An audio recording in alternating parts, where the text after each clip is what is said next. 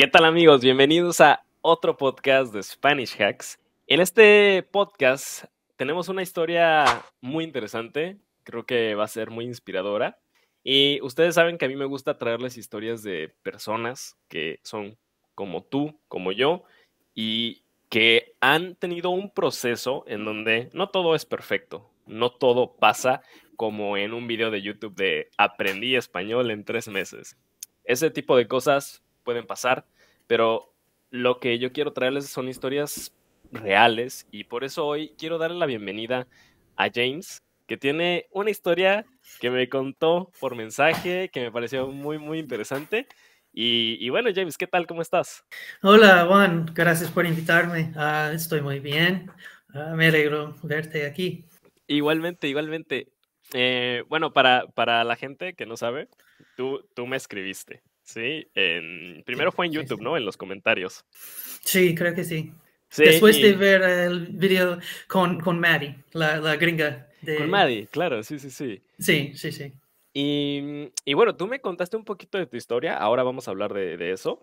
Me pareció muy como, o sea, la motivación por la que tú empezaste a aprender español fue algo que a lo mejor muchas personas tienen, porque tu motivación fue primero por el trabajo, ¿no? Eh, sí, sí, sí. Pero bueno, antes de llegar a eso, me gustaría preguntarte algo simple. ¿Tú de dónde eres originalmente? Originalmente soy de los Estados Unidos, uh, estado de Connecticut, al lado de Nueva York. ¿Y ahí hay muchos latinos? Hay, mm, Donde yo vivía, sí, uh, había muchos, muchos uh, hispanohablantes, muchos mexicanos, muchos um, ecuatorianos, chilenos, um, y no fue raro a, encontrar gente que habla español mejor que, que inglés. Ah, ok, ok. O sea, la gente normalmente habla, o sea, las personas que migran hacia Connecticut, ellos normalmente hablan más español que inglés. Eso es lo que dicen. Tienen sus, sus barrios, sí, donde, donde hablan, mm. hablan español, sí, sí. Ah, de acuerdo. Y entonces, tú cuando estás en la escuela, ya sea en high school o en lo que sea, eh, ¿En algún momento tomaste clases de español? ¿Era algo que se daba en la escuela o cómo era? Fue obligatorio. De, yo tomaba clases por mis cuatro años en el instituto, pero los, las clases no siempre sirven ah, para enseñar cómo hablar. Enseña vocabulario, verbos, así, pero toma más esfuerzo para tener la capacidad de hablar con fluidez. Ok, entonces en la escuela, digamos, eh, fue puro pura gramática, puro vocabulario y, nada más. O sea, ahí, ahí no aprendiste a hablar.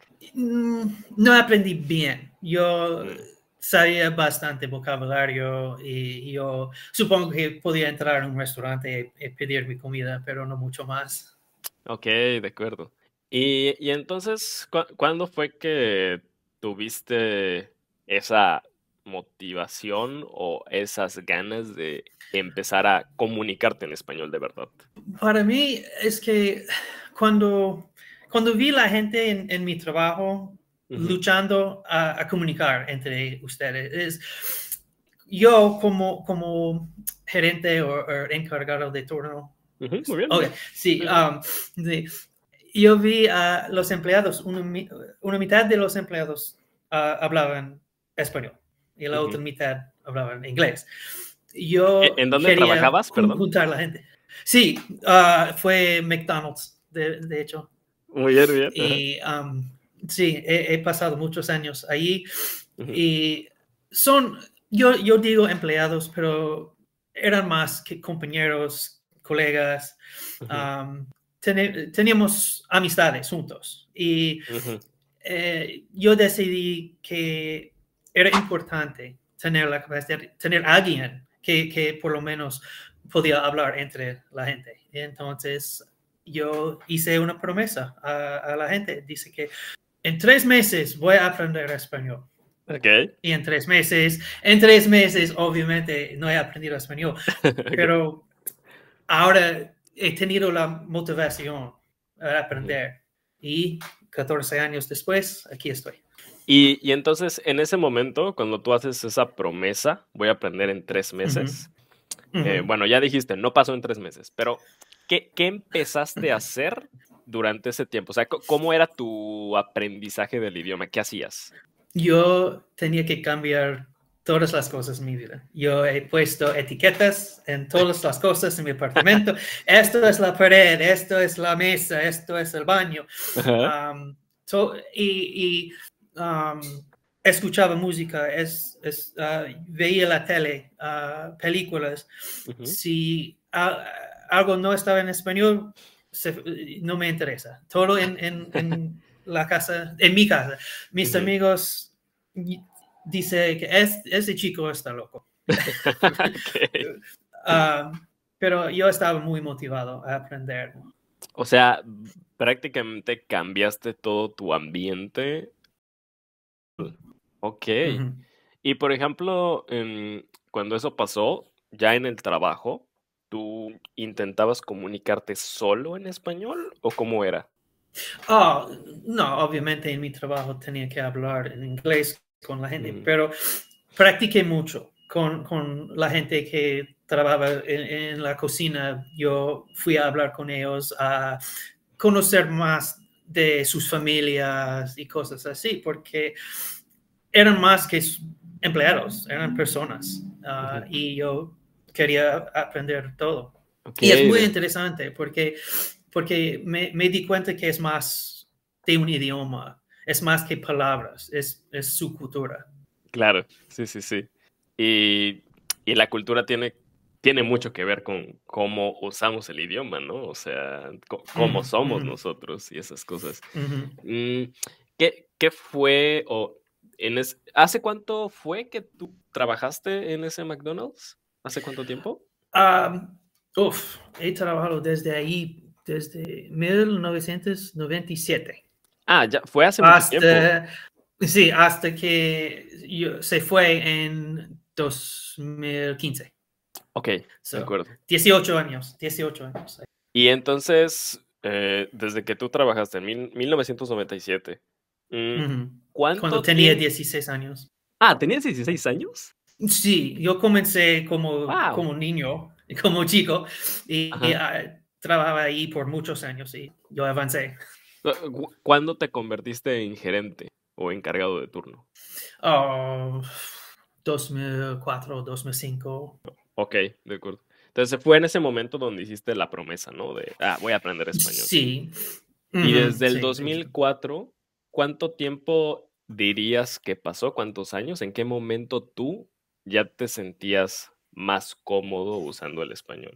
¿Cuántos años a, ser, a, a sentirme más cómodo? Ah, uh -huh yo todavía no me siento muy cómodo, es, es un proceso, siempre uh -huh. es un proceso, pero um, creo que cuando la gente me hablaba, es, yo me di cuenta, de, ah, ellos creen que yo puedo entender okay. y tenemos conversaciones, no sé, eh, dos, tres años más, pero yo tenía que practicar muchísimo. De acuerdo, pero digamos que, que después de dos, tres años tú ya podías tener mm. conversaciones en español. Sí, conversaciones básicas, sí. Ah, muy bien, muy bien. Oye, y, y bueno, después de eso, o sea, en este proceso, ¿tú qué dirías uh -huh. que es lo que más te ha ayudado a, en, a aprender el idioma? Confianza. Mm. Tienes que tener confianza en ti mismo. Tienes claro. que decir, bueno, voy a equivocarme, voy a decir cosas tontas, ridículas, va a pasar. Um, pero cuando, cuando tiene confianza, puede hacer cualquier cosa, puede, puede hablar bien. Y para mí, sí, yo tengo días cuando creo que no entiendo nada del idioma, es muy frustrante. Claro. Pero hay otros días, yo, yo pongo la tele y puedo ver pelis y, y todo. Eh, pero como, de, como he dicho, es, es un proceso. Uh -huh. y, y, ahora mismo, ¿qué es lo que haces para, para seguir mejorando? ¿Tomas clases o usas algo? No, vivo en España. es suficiente. uh, sí. Um, yo intento estudiar cosas, un poco de vocabulario, pero para mí, cuando ah, salgo de la casa, puedo hablar con gente y siempre aprendo algo nuevo, siempre hay cosas nuevas para aprender. Ah, voy al uh, supermercado y yo hablo con la gente que prepara la comida, hablo con las, los cajeros. ahora tengo una hija de siete años y ella tiene amigos. Yo hablo con los padres de sus amigos. es interesante porque algunos son muy emocionados a hablar con alguien de los Estados Unidos. claro. Ah, qué bueno. O sea, tú, mm, ¿qué, porcentaje de tu vida dirías que es en español ahora? Es, me gustaría que sería 100%, pero no, no es posible. Tengo que hablar con mi hija en inglés. Ella es bilingüe, ella habla dos idiomas, pero con ella siempre tengo que hablar inglés. So, así que con ella inglés, a veces cuando vemos la tele, mi mujer pone la tele en inglés porque dice que yo tengo que descansar. Mi mente tiene que descansar de español. Ok. Te cuida tu, tu mujer. Sí, sí. Bien, bien. Mm, y, y, entonces, bueno, tu mujer es española, entiendo. O... Sí, sí. Ok. ¿Y con ella? Eh, eh, ¿Cómo es? ¿En, en, en inglés la relación? No, no, no, no. Ella solo habla en español conmigo. Wow. Ella entiende inglés. No, ella entiende inglés, ah, pero no. Habla en casa es español. Si algún día vamos a Estados Unidos, tal vez podemos cambiar, pero no. Ella, ella me habla eh, solamente en español. Oye, James, eso, eso es eh, muy, muy motivador, muy impresionante y muy valiente. O sea, tu, tu relación con tu mujer es, es en español. Sí, incluso aunque tu español no es, como tú dijiste, no es perfecto, ¿no? Pero tienes una relación en español. Ya, sí. Wow. ¿Y mm, cuáles son los retos más grandes para ti al tener una relación en un segundo idioma? Quiero que entendemos perfectamente, quiero que yo no tengo que luchar en, pensar. Hay, hay momentos cuando es muy difícil, porque es una cosa aprender de un, libro, eh, un libro de texto, es otra cosa a vivir ah, en un país donde toda la gente habla español y um, yo quiero tener la capacidad de hablar sin, um, no, no, no, es miedo, um, es un poco de orgullo. Yo quiero, estoy orgulloso a tener la capacidad de hablar en español, pero a veces es difícil. Uh, no sé cómo se dice algo. Es, es, frustrante, puede ser frustrante. Wow, pero entonces, de verdad, tu vida, un porcentaje muy alto es en español ya, ¿no? O sea, sí, tal casi vez todo, casi todo tu, relación con tu hija en inglés, pero nada más, ¿no? Sí, pero nada, nada más. Es, sí, so, digo 85% es español. Y me encanta, me encanta. Sí, siempre me encanta. Uh, hablar en otro idioma. Yo creo que es increíble. Oye, y una, y una duda un poco curiosa, porque, bueno, yo tengo una relación con una mujer, pues, de otro país también. Entonces, eh, en la educación de los hijos, siempre hemos hablado de esto. ¿Cómo fue que, que tu hija fue bilingüe? ¿Tú siempre le hablabas solo en inglés y tu esposa solo en español? ¿O cómo, cómo fue esa parte con tu hija?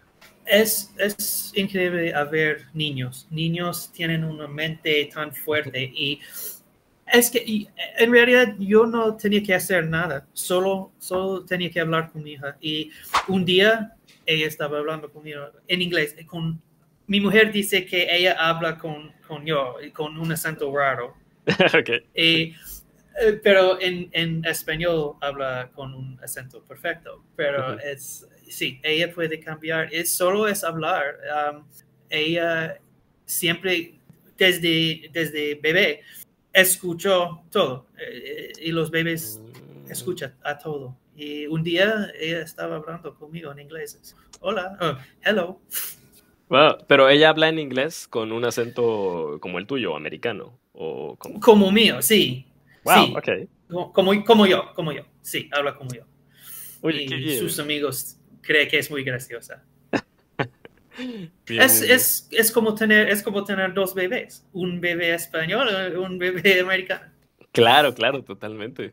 Wow, y bueno, para ella es una gran ventaja hablar dos idiomas oh, desde ahora. Sí, sí, es muy bueno. Sí, mm.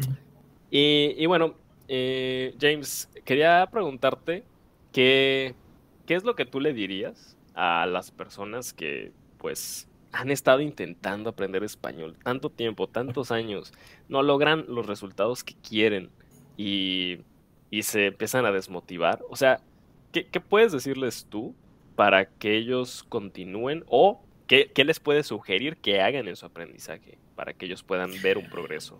Es, es difícil, hay, hay, momentos cuando es muy frustrante. Yo, yo diría que busca algo nuevo busca alguna forma de aprender es un poco diferente que no has probado antes. Si nunca has hablado con alguien en un restaurante, vete a un restaurante y habla con la gente. Um, ve una película que, que, te gusta en otro idioma o, o algún peli nueva. Escoge algo nuevo y dice que, ok, voy a aprender por ver este, esta peli. Um, siempre tiene que tener cosas para motivarte. Um, si, no, puede seguir con lista, una lista de vocabulario cada día, cada día, lo mismo. Es aburrido. Um, tiene, tiene, que divertirte cuando estás aprendiendo. Gracias. Y, y, y bueno, y la última cosa es, ah, hay, mucha, hay muchas personas que, bueno, yo, yo siempre les recomiendo a la, a la, gente, oye, escucha podcast en español, escucha, ve videos en español, sin subtítulos. Sí, no, sí. no, importa que no entiendas al principio, poco a poco vas a entender más. Poco a poco. poco a y poco. una de las cosas que mucha gente, muchas personas dicen es, ah, es que no entiendo, ya no, no quiero verlo, no quiero escucharlo, ¿sí? ¿Qué, ¿Qué, les dirías a esas personas? Porque tú pasaste por ese proceso de no entender a entender. Creo que puedes entender con el contexto de algo. Pon un podcast con un tema que es, es que tú sabes uh, y escucha, escucha. Y, y, obviamente no vas a entender todo, pero escucha otra vez. Y poco a poco vas a entender las palabras y vas a enter, te, aprender el contexto. Tal vez no sabes todas las palabras, pero da igual. Sí. Yo en, si puedes entender el contexto del podcast, eso es importante. Nunca, no, nadie va a entender todas las palabras, entonces, aún en, en su propio idioma. Yo no, sí. yo no sé las, todas las palabras en inglés. Sí, exacto. O, o, cuando escuchas una canción en, en, tu idioma, ¿no? A veces la canción va tan rápido que sí. no entiendes tu propio idioma. Sí, sí, sí. Normal. Sí, solo puedes entender una o dos palabras a la vez. Sí, sí, sí. Oye, eh, James, de verdad, tu, tu, historia creo que es muy inspiradora para otras personas porque... Gracias. No, no, no creo que exista un camino perfecto para lograr la fluidez en un idioma y pero, pero sí creo que es posible si uno sigue intentando, si uno cambia la estrategia y tú eres prueba de eso. Así que te agradezco mucho por compartir tu experiencia con nosotros. Gracias por la, la oportunidad, es, es, increíble. Nunca, nunca supe que iba a acabar aquí. Eh, Mira. Es una, es una vida, es una vida nueva e, e increíble. Pero gracias por la oportunidad de hablar un poco. Uh, yo sé que tú estás en Polonia, suerte con tus cosas en Polonia. gracias. y, y, mira, tú empezaste escuchando podcast en español, ahora tú estás en un podcast en español. Así que muy bien, lo lograste. Qué bien, increíble. gracias por compartir tu experiencia. Y, y pues nada, amigos, si ustedes tienen una historia de cómo aprendieron español, quieren compartir su proceso y creen que lo pueden compartir completamente en español, aunque su español no sea perfecto, escríbanme aquí en los comentarios, envíenme un email o escríbanme en Instagram. Y a mí me encantaría que su historia esté aquí, como la de James. Así que gracias James por estar aquí. Gracias a ti.